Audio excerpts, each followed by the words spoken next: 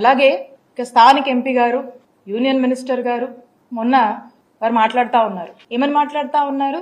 ఆరోగ్యశ్రీకి డబ్బులు లేవని పేషెంట్లకు వైద్యం అందించలేమని నెట్వర్క్ హాస్పిటల్కి డబ్బులు ఇవ్వలేమని అందరూ ఆయుష్మాన్ కార్డులు ఆయుష్మాన్ భారత్ కార్డులు తీసుకోవాలని చెప్పి వారు మాట్లాడుతూ ఉన్నారు. అసలు ఇక్కడ నాకు ఒక అనుమానం అనిపిస్తా కూటమి ప్రభుత్వంలోని ముఖ్యమంత్రి చంద్రబాబు నాయుడు గారు ఏమైనా వారి మనస్సులో ఉన్నటువంటి మాటల్ని మరి ఈ మంత్రుల ద్వారా ఏమన్నా ఎక్స్ప్రెస్ చేయిస్తున్నారా అనేటువంటి అనుమానం కూడా మాకు కలుగుతా ఉంది. ఏమని? హెల్త్ వాళ్ళకి అంత ప్రయారిటీ కాదని మరి ఆరోగ్యశ్రీని ఏమైనా వైండప్ చేస్తున్నారనేటువంటి ఒక అనుమానం కూడా మనకు కలుగుతా ఉంది. ఆయుష్మాన్ భారత్ ఆయుష్మాన్ భారత్. ఆయుష్మాన్ భారత్ కార్డ్స్ వాళ్ళకు ఉన్నటువంటి టెక్నికాలిటీస్ కావచ్చు వాళ్ళు మనకు ఇస్తున్నటువంటి దీని ప్రకారం మనం చూస్తున్నట్టయితే అరవై లక్షల మంది కుటుంబాలకు ఆయుష్మాన్ భారత్ కార్డు వర్తిస్తుంది మన రాష్ట్రంలో. ఆరోగ్యశ్రీ మీరు చూసినట్టయితే ఆరోగ్యశ్రీలో ఒక కోటి నలభై రెండు కుటుంబాలకు ఈరోజు ఆరోగ్యశ్రీ మన రాష్ట్రంలో వర్తిస్తుంది. అంటే ninety percent of the families in the state of ఆంధ్రప్రదేశ్కి ఆరోగ్యశ్రీ అనేది వర్తిస్తుంది. మరి అరవై లక్షల మందికే వర్తించేటువంటి ఆయుష్మాన్ భారత్ కార్డ్స్ని అందరూ తీసుకోవాలి దాన్నే వాడుకోవాలంటే అరవై లక్షల మందికే వర్తించేటువంటి ఈ ఆయుష్మాన్ భారత్ కార్డ్స్ మరి మిగతా వాళ్ళ పరిస్థితి ఏంటి? మిగతా వాళ్ళ పరిస్థితి ఏంటి? వాళ్ళకి ఏమైనా సమస్య వస్తే ఎక్కడికి పోవాలి? వాళ్ళకి ఏం వర్తించాలి అప్పుడు? అలాగే ఆరోగ్యశ్రీ. ఆరోగ్యశ్రీలో మనము మూడు వేల రెండు వందల యాభై ఏడు ప్రొసీజర్స్కి మనం కవర్ చేస్తాం ఆరోగ్యశ్రీలో. మరి ఆయుష్మాన్ భారత్ పంతొమ్మిది వందల చిల్లర పంతొమ్మిది వందల నలభై తొమ్మిది. అంటే రెండు వేల కన్నా తక్కువ ప్రొసీజర్స్ ఉన్నటువంటి ఆయుష్మాన్ భారత్ని మీరు వాడుకోండి అని చెప్పి చెప్తా ఉన్నారు. మరి ఈ ఈ మూడు వేల రెండు వందల యాభై ఏడు ప్రొసీజర్స్ మనం ఆరోగ్యశ్రీలో కవర్ చేస్తున్నటువంటి ఈ మిగతా ప్రొసీజర్స్ అంటే ఈ రెండు వేలకు పైగా ఉన్నటువంటి మన దగ్గర ఉన్నటువంటి ఆరోగ్యశ్రీలో ఉన్నటువంటి మూడు వేల రెండు వందల యాభై ఏడు ప్రొసీజర్స్లో ఉన్నటువంటి ప్రొసీజర్ ఏదన్నా ఈ రాష్ట్ర ప్రజలకు అవసరం అయితే ఎక్కడికి పోవాలి? ఎవరు బాధ్యత తీసుకుంటారు? ఎవరు బాధ్యత వహించాలి? అలానే ఆరోగ్యశ్రీ పరిధి.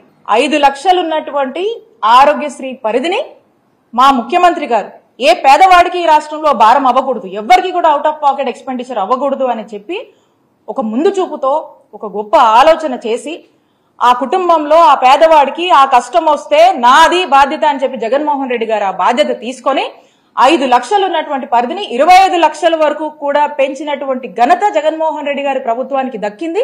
దాన్ని మేము అమలు చేశాం. మరి ఈ రోజున ఆయుష్మాన్ భారత్ మీరు చూసినట్టయితే ఐదు లక్షల వరకే ఇస్తుంది లిమిట్.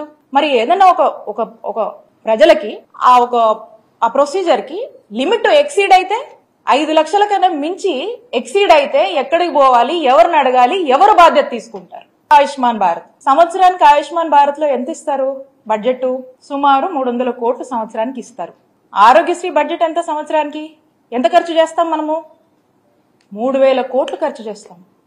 మూడు వేలకు ఈ సంవత్సరం అయితే మూడు వేల ఐదు వందల కోట్ల వరకు కూడా మనం ఖర్చు చేస్తా ఉన్నాం.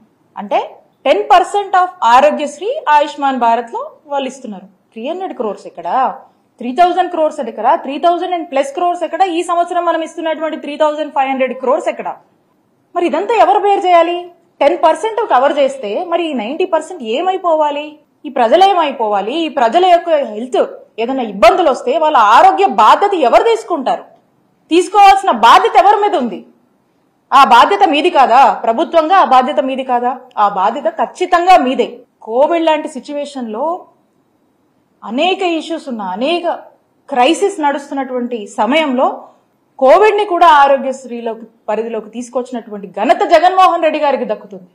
దేశమంతా కూడా ఈ పాండమిక్ వల్ల అనేక ఇబ్బందులు పడుతున్నప్పుడు కూడా మన రాష్ట్రంలోని ప్రజల్ని కంటికి రెప్పలా కాపాడుకున్నటువంటి నాయకం వహించినటువంటి నాయకత్వం వహించినటువంటి నాయకుడిగా జగన్మోహన్ రెడ్డి గారికి ఈ రాష్ట్ర ప్రజల్లో ఆ యొక్క గుర్తింపు ఉంది.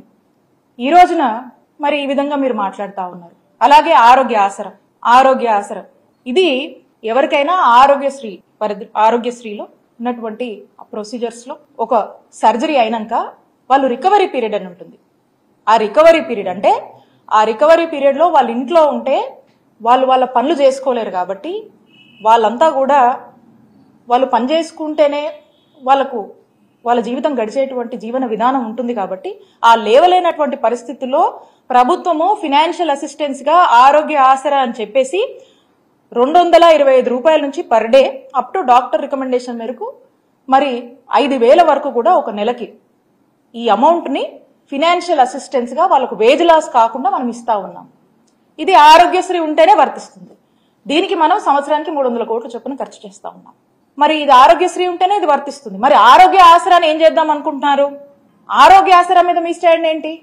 ఈ మొత్తం చూస్తూ ఉంటే అందుకనే అనిపిస్తా ఉంది. నేనంటుంది కాదు. ఏదో రాజకీయంగానో రాజకీయం కోసం నేను అంటుంది కాదు. ఇవన్నీ కూడా మేము చేశాం. మనసు పెట్టి చేశాం. ఒక మనసున్న నాయకుడు ఈ రాష్ట్ర ప్రజలకు ఏ కష్టం వచ్చినా కూడా అది నా బాధ్యత.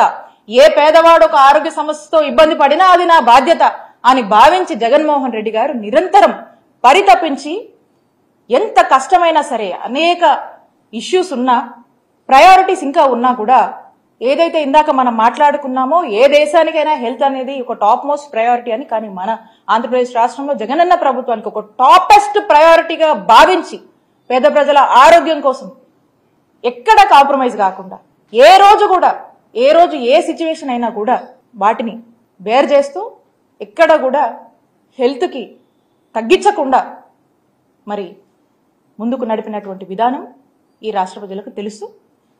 కాబట్టి నేను నేను అడుగుతా ఉన్నాను ఈ మంత్రుల్ని అలాగే కూటమి ప్రభుత్వంలో ఉన్నటువంటి ముఖ్యమంత్రి గారు ఆరోగ్యశ్రీ మీద మీ స్టాండ్ ఏంటి? దీని మీద మీరు స్పష్టత ఇవ్వవలసిందిగా మిమ్మల్ని నేను కోరుతా ఉన్నాను.